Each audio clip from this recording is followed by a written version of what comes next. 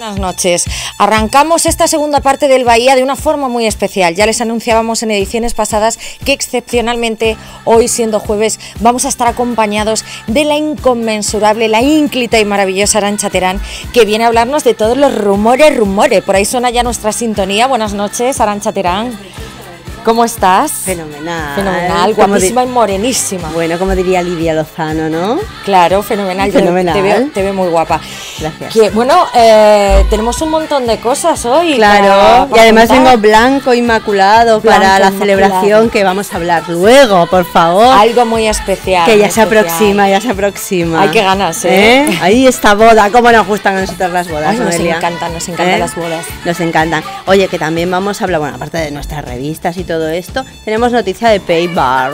Ay, Paybar, que son supernoticia. Que son super mega noticia aquí los trabajadores del cine. Genial. Como les gusta a ellos calificarse. También tenemos noticia de Cayetano Martínez de Irujo. También una noticia muy importante. Ha además. hablado y parece ser que vamos a conocer otra faceta de Cayetano. Vamos a ¿eh? conocer muchas cosas de Cayetano. Por favor, que me tiene, vamos, en un sin vivir. A mí también en un sin vivir. En un no sin puedo ni comer, de verdad. Oye, última hora de Ortega Cano. Vamos a comentarlo también. También. Y que nos vamos de cumpleaños. Vamos a terminar con un super mega cumpleaños que seguro que a todos nos va a encantar. Desde luego, pero ¿Eh? no vamos a decir de quién. No vamos a decir de quién todavía, porque vamos a empezar, si te parece, con nuestras revistas Claro, del corazón. como siempre, las revistas. Bueno, pues si te parece, empezamos Sea. con semana, como la semana. ¿eh? Para nosotras empieza los jueves la semana. Sí, es cierto, es ¿Eh? cierto. Normalmente empiezan los viernes. Sí, pero hoy, Hoy, excepcionalmente, excepcionalmente. empiezan los jueves. Bueno, pues ¿qué tenemos en semana? Nuestro Paula y Busta. Ay, como me encanta ¿Eh? nuestro gusta. Hija, por favor, hay que hablar de la tía gusta, Ruca. De la tierruca. De la Ahí tía lo Ruca. tenemos en pues ahí tenemos, mira, vacaciones con su hija en Disneylandia, que han llevado a su niña Daniela. Qué chica, qué menudo cabreo que han tenido en el aeropuerto. ¿Por qué? Mira, se lo han pasado fenomenal en Disneylandia, ¿eh? con la niña, Sí. que está preciosa. Además, mira, la exhiben ahí y está guapísima. Pero ¿qué pasa? Que a la vuelta, pues hombre, eran las 12 de la noche. La niña venía cansada, ya pues imagínate, ¿no? En el avión se ha quedado dormida, luego un poco ya desvelada. ¿Y qué pasa? Que los fotógrafos, pues claro, quieren una imagen de Busta y de Paula. Claro, porque han aprovechado el momento. Claro, son importantes, son importantes, ¿eh? Y entonces, bueno, pues han empezado a tirar fotos y tal, entonces la niña se ha desvelado, se ha puesto un poco así, chica, que tiene tres añucos, la pobre. Es que es ¿eh? muy pequeñuca. Es muy pequeñita, pues y entonces, pues bueno, pues parece ser que Bustamante no le ha gustado que tiraran fotos a la niña mm, medio dormida y entonces, pues ha habido un ligero cabreo con los fotógrafos. Así. Sí. Ha reaccionado mal es que él gusta. también por su hija mata, ya sabes. Hombre, claro, cualquiera ¿Eh? por su hija o hijo. Y entonces, pues bueno, pues se ha mosqueado un poquito. Pero bueno, no ha llegado la sangre al río. Hombre, hay que entender a David, ¿eh? Con su niña, pues ya sabes Yo lo cómo comprendo es. perfectamente. Es, me parece un cabreo perfectamente justificado. Si bien es cierto que hay otros por ahí de cada uno que, madre mía, ¿eh? ¿Cómo las montan? imagínate. Pero bueno, en este caso, Bustamante, tienes toda la razón, hijo. Ya. ¿Te acuerdas de Jack Nicholson? Sí, bueno. Cómo las montaba y eso que no tenía niños. ¿Quién ¿eh? fue el del paraguas? Ay, el que se de Hanover. claro. Nuestro Ernest de Hanover. Ernest, Ernest, qué Que por, grande. que por cierto, amigo de Paca. ¿Eh? Claro, que decirlo. claro, por cierto, hablando de todas estas bodas, celebraciones, Sí. todos los, los BBC míticos Sí. que rondan estas fechas del calendario, Paca tiene unos cuantos eventos muy importantes. Uno de ellos que desvelaremos a continuación. El sábado. Este sábado. Este sábado. Ustedes ya se imaginan. Paca tiene este sábado, que por cierto, he visto la invitación. La has visto, ¿verdad? He la visto Paca? la invitación de Paca, Fenomenal. ¿eh? eh. Bueno, bueno, Paca, bueno. ¿cómo vives, hija? De verdad que envidia no estás. Luego lo comentaremos. Yo quiero ser Paca de Yo quiero mayor, ser Paca ¿eh? también. Por favor. bueno, también la publicación habla de Charlene Wistock. ¿eh? Sí, guapísima, guapísima. ¿Cómo dirías Bella. tú? ¿Wistock? Winstock. Winstock. Como te encanta oírme hablar en inglés. Ay, es que me emociona. Tú ya sabes que a mí me gusta mucho irte a hablar en inglés. Bueno, pues que en dos días se convertirá en esposa de Alberto de Mónaco. Ah, qué maravilla. ¿eh? De Fenomenal. celebration. Fantástica. Y bueno, también Semana habla pues de la hija de Sarah Ferguson, ¿eh? Beatriz, de Inglaterra, porque para qué va a ser Beatriz de Paracuellos, no, No. Beatriz de Inglaterra. de Paracuellos ya es otra princesa, la Andreita, Sí. que luego hablaremos de ella. Nuestra princesa del pueblo. Bueno, pues Beatriz estrenando Silueta, ¿eh? Chica, que estrene Silueta. En semana también, ¿verdad? Sí, sí, en semana, Portada en de semana. Estrena silueta, porque lo que es estilo y glamour, por mucho que se vista de Valentino, a nosotras no nos acaba de convencer. ¿eh? Ya, ya. Es que no, no es todo la firma, ¿eh? Claro. Muchas veces. Oye, porque mira, por ejemplo, también tenemos en semana a Leticia, que se ha apuntado a lo del low cost. Low cost. Low cost. o sea, moda a bajo precio, ¿eh? Y está estupenda y maravillosa con un vestidito de Zara. Sí. ¿eh? Que ya comentamos la semana pasada y hoy es portada de, vamos, una ventanita de la revista Semana. Bueno, pues dentro de la publicación también se hace eco de la nueva vida de Elena Tablada. Ya sabes, se ha separado de David Bu- de, ay, Bustamante iba a decir, no, por favor, mi David, mi Paula, no, de David Bisbal. Nuestro Bisbee. Tú ya sabes que yo con Bisbal y Bustamante, como los, siempre los he relacionado Bueno, mucho. son dos triunfillos, Sí, claro. sí, a veces se mimetizan, ¿no? Bueno, pues se hace eco de la nueva vida de Elena Tablada tras su ruptura con Bisbal, que parece que está buscando a la chiquilla a casa. Ah. Como no tiene, pues tiene que buscar alguna. Claro, ¿eh? claro, claro. Que el cantante podría pagar a cambio de que, bueno, de que la casa se ponga a, ni- a nombre de, de su niña, de Ela.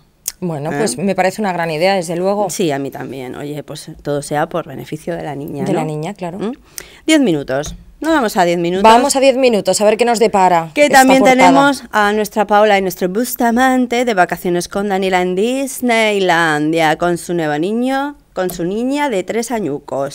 Bustamante que ya está pensando en las vacaciones. Han venido de Disneylandia y dice, oye, que nosotros necesitamos todavía más vacaciones. Ay, qué bien. ¿Eh? Cuánto gusta en todas las ¿Verdad portadas de sí? nuestras revistas. Es Oye, que la, la niña se verdad- parece mucho a su padre, por lo que veo, ¿eh? Sí, también. Está, Sí. está muy linda. Es pero muy que- cántabra. ¿Tú sabes lo que pasa? Que una portada de Bustamante y de Paula Echevarría, pues ¿qué quieres que te diga? Vende. Porque Vende son tan guapos. vende ¿eh? mucho, claro. Son tan guapos, tan glamurosos, tan ideales.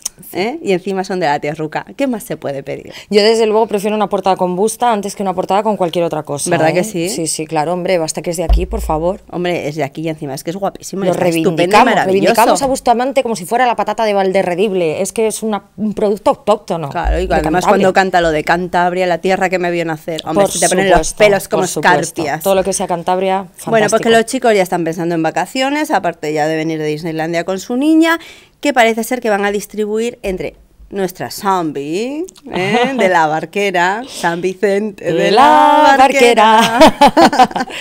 y también, y luego ya se irán a Ibiza. ¿m? Eso sí, donde aún todavía no tienen casa, ¿eh? porque tú ya sabes que aquí vienen de papá y mamá y todo perfecto. Lo tienen todo hecho, claro. Claro, pero en Ibiza no. Entonces, en Ibiza toca, ya sabes, Toca lo que toca. toca lo que toca, pues pagar. Un poco de apoquine. Pues pagar como todos los que vamos de vacaciones, ¿no? Hombre, claro, pero Ni si es que al, final son personas y seres humanos convencionales, como tú, como yo, Claro. pagan sus casas, sus vacaciones. Ay, pero lo bueno que sería tener alguna amiga en Ibiza, ¿verdad? También, también. Y disponer del dinero que tienen ellos Ta- también. hombre, porque no es lo también. mismo. Hombre, no es lo mismo. Noelia, Ya, bueno, pero donde sí pensaban establecer su residencia de verano, ¿eh? y no porque lo de supervivientes esté ahora muy de moda de ir a Honduras, ¿eh? porque claro, eh, Bustamante quería instalar su cuartel general entre giras por América y ya, pues, hombre, de vacaciones, ya que tienes la casa allí, pues ir a Honduras. Pero parece ser que hay problemas con la edificación, supuestamente, la cosa está paralizada, ha dicho Paula en una entrevista que le han hecho en los premios Cosmopolitan, que la han pillado así, con la cachofa, y le han dicho, oye Paula, ¿qué está pasando con Honduras? Y no te va a hablar de supervivientes, evidentemente. Evidentemente. ¿sabes? Y le han dicho, mira, pregúntaselo a David porque es el que más o menos pues corre con todos estos temas, pero sí que es cierto que de momento está todo parado. ¿eh? Bueno. Así que nada, pues que se van a Ibiza, chica, que se van a Ibiza. Bueno, que pues también les bien. seguiremos a Ibiza, por supuesto. Hombre, nosotros hay que ir a Ibiza para siempre, seguirles. siempre. Se va, se hace un esfuerzo y se va. Lo que haga falta. ¿Eh? Que pasamos a lecturas. Bueno, lecturas. ¿Qué nos trae esta semana lecturas? Bueno, lecturas tensión en Mónaco. Ay, no me extraña. Es tensión que claro, este en sábado, Mónaco. Imagínense. ¿eh? Sí, pero es que tensión en Mónaco con portada de Leticia, ¿por qué? Porque los príncipes no asisten a la boda, no van a asistir a la boda. Pero bueno, ¿y a qué Sí. fin? ¿Por qué no? Bueno, pues dentro de la portada, como luego te contaré, la publicación, bueno, pues intenta dar respuesta a por qué los príncipes no asisten al enlace este fin de semana. Te comento. Se dijo que ningún miembro de la familia real acudirá a la boda el 2 de julio, española, ¿eh? El motivo es que la invitación está cursada a solo jefes de Estado, Ajá. ¿eh? Y que sepamos, el único jefe de Estado que tenemos en España es, Es el rey, claro. ¿Mm? Entonces, claro, evidentemente, los príncipes, el príncipe heredero, no va a la boda. Por cierto, que este fin de semana se van a Valencia a las regatas, una actividad que Zarzuela ha calificado como privada. ¿M? Ah, bueno. Y no quiere dar más explicaciones. Pero nosotros, que somos muy listos, ¿eh? sabemos que se van de regatas. ¿eh? O sea que no va a ir eh, su No. majestad, pero bueno. Bueno, su majestad, a ver, la invitación estaba cursada a nombre del rey, que es el jefe de Estado, Claro. quien declinó en un primer momento la invitación al encontrarse, pues claro, recuperándose del- de la operación. es esta- verdad que está convaleciente Claro, todavía. de rodilla, que ha sufrido apenas hace un mes, ¿no? Claro. Y está todavía pues un poco convaleciente. La única que podría ir es la infanta Pilar de Borbón, bueno, pues su, por su relación con Alberto como miembro del COI. Claro. ¿eh? Entonces creo que Pilar de Borbón sí que va a asistir, pero bueno, dentro de lo que cabe, hermana del rey, pero no se considera familia real en el sentido estricto de la palabra. ¿no? Claro. Se ha especulado, claro, es que también aquí ya surge lo del tema de la preguntita que hizo Alberto de Mónaco sobre la seguridad española, que a lo mejor podía haber sido una de las causantes por lo cual no hemos sido sede olímpica. Entonces, eso ha causado mucho resquemor entre la población española. Hombre, claro, es que hay veces que las Es que eso ha dolido, boquitas, ha las dolido. boquitas tienen que controlarse un Claro, poco. ha dolido. Mm. Sí, porque además aquí en. España, te- gracias a Dios, gracias a las fuerzas de seguridad del Estado que tenemos, tenemos una seguridad que, vamos, ya quisieran otros países. Por ¿eh? supuesto. Ya quisieran otros Es que países. poner en tela de juicio la seguridad española, Hombre, por favor. Pues acabáramos. buenos aquí, Alberto, familia del cuerpo. no de. Mónaco.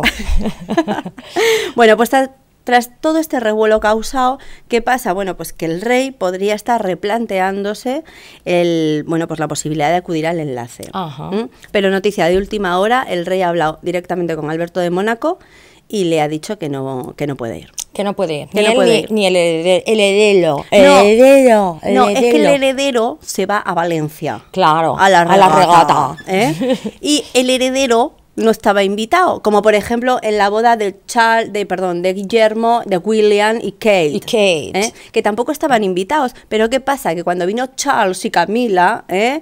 y le dijeron que nosotros no estamos invitados, y ya sabes que el rey a ver, es que el rey tampoco suele ir a las bodas reales, ¿eh? Suele Ya ir la no acude, reina, no acude, es cierto. algún miembro de la familia real, pero el rey en sí no es muy dado a salir, bueno, pues a estos, a, esto- a este tipo de eventos, ¿no?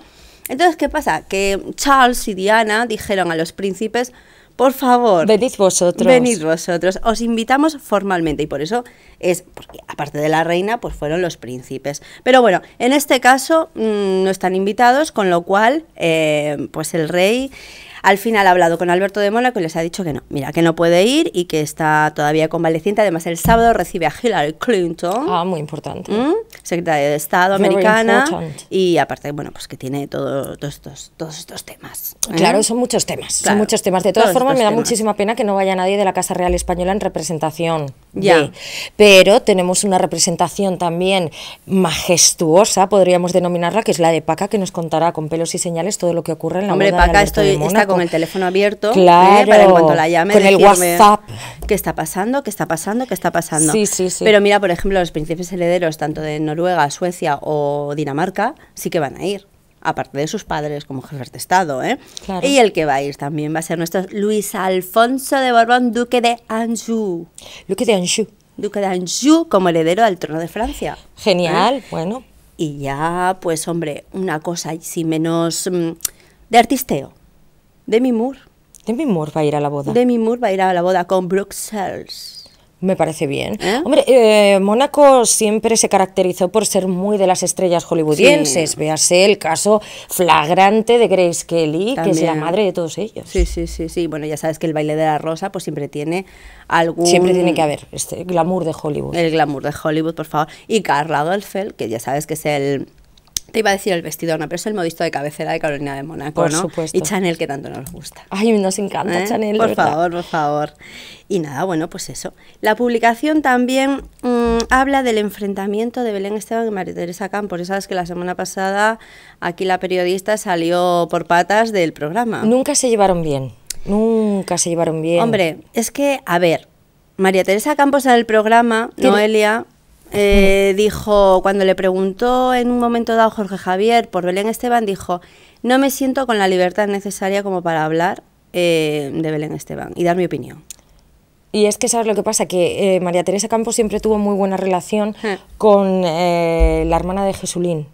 Ah, También, sí, sí, sí, Claro, sí, sí. trabajó Con Carmen Janeiro, sí. Con Carmen, trabajó muchísimo tiempo con ella en su programa. Entonces, yo creo que el problema eh, subyace en el hecho de que eh, María Teresa Campos es muy, muy amiga, eh, está muy vinculada a la familia Janeiro. Bueno. Entonces, esto ya de por sí